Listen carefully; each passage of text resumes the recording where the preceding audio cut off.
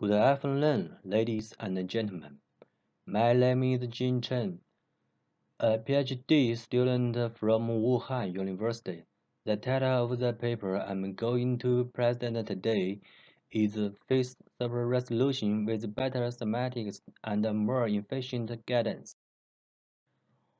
What does Face Super Resolution do? It's aimed to generate high-resolution feature images from low-resolution observations. There are two main research directions, optimizing framework and pair many. On the one hand, some masters design new network or special model to enhance the representation ability of the network. On the other hand, some methods try to mean different pairs to get several resolution features. In this paper, we focused on semantics uh, pair. To utilize the semantic pair to assist face super resolution, there are two key steps. First, to extract the semantic maps from low-resolution image. Second, to use the, the semantic maps to get super resolution features. For the former, some pressures some pressures master directly use the L1 loss to supervise the abstraction of semantic maps, but not accurate. And an accurate semantic map is bad for guidance.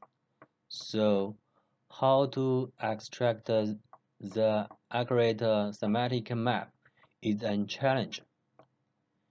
In terms of guidance, to sampling can calculated with the semantic map and uh, features of a layer of the guidance network is inefficient because subsequent layer cannot have direct access to semantic pair.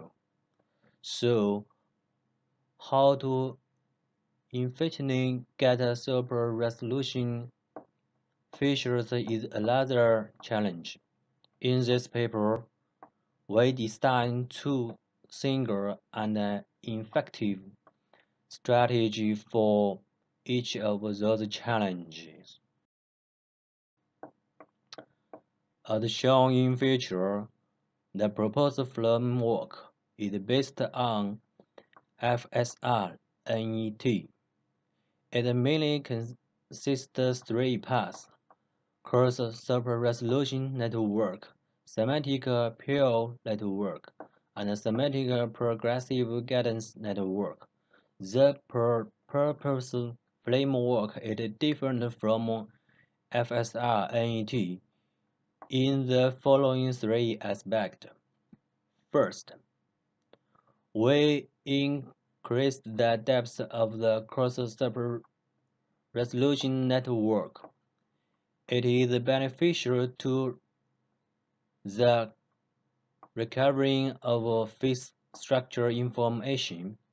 Second, we proposed a one-hot supervision strategy to improve the accuracy of the predicted semantic maps.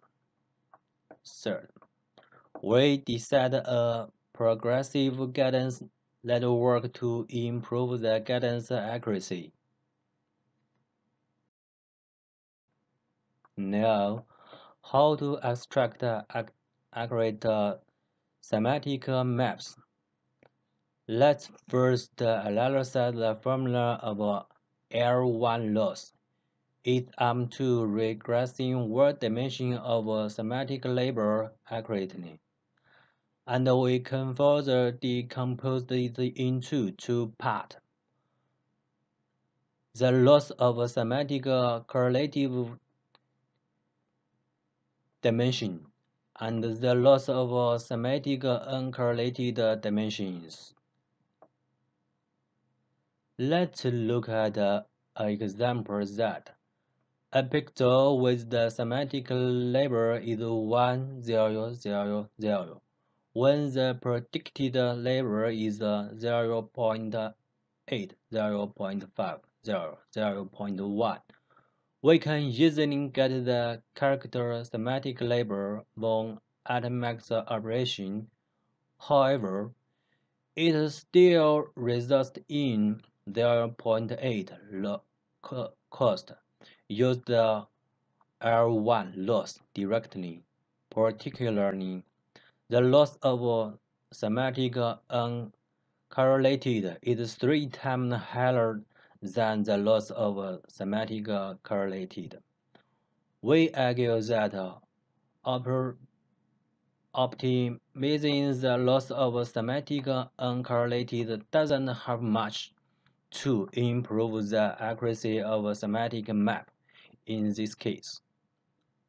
Based on this observation, we proposed a level 1 hot supervision strategy. It relaxed the constraint of regressing word dimension accurately and only granted that the semantic correlated dimension had the maximum output. A simple solution is to transform the predicted semantic label into one hot label for Xmax operator before computing the L1 loss. So, when the semantic core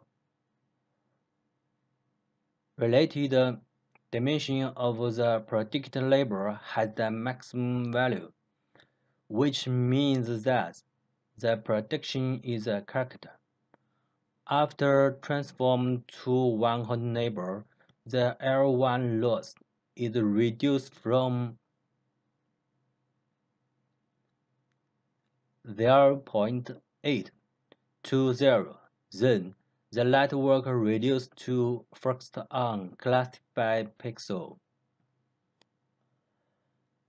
When the semantic correlated dimension of the predicted label had no uh, maximum value, it means that the prediction is a low character. After transform to one hot neighbor, the L1 loss is increased from 1.4 to 2. It makes the network pay more attention to the misclassified pixel. So, by using the, the one-hot um, supervision strategy, the network can be more focused on misclassified pixels result in a more accurate uh, semantic maps. And we introduce, introduce the Gumbel softmax trick to solve the end-to-end -end training problem.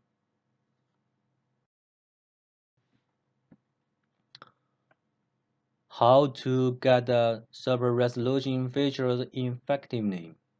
We design a progress guidance network, especially since different letters in the guidance network have different characteristics, so different letters should be guided uh, adaptively.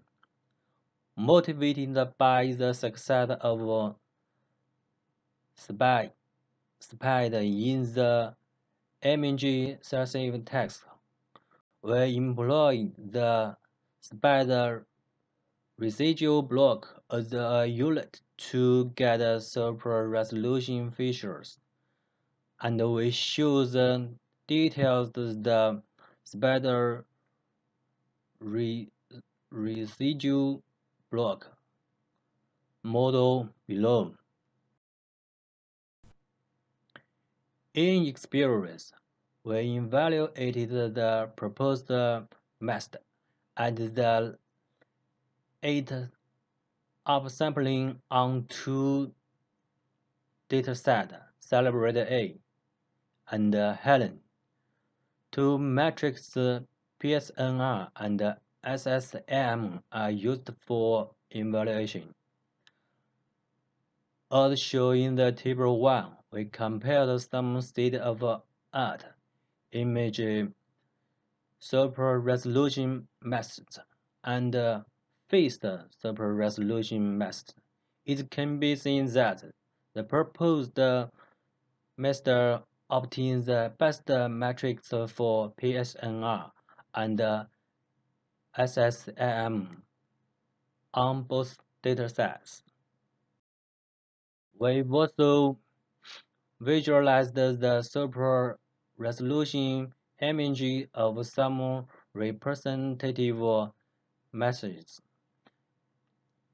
Uh, as show in the future, because the proposed method enhance the accuracy of the semantic maps and improve the guidance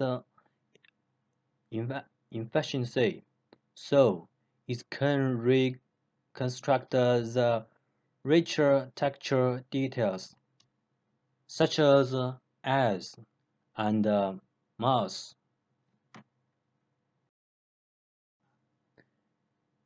Here, we study the accuracy of um, semantic maps at different uh, scales and uh, supervising strategy for the evaluation of uh, semantic maps.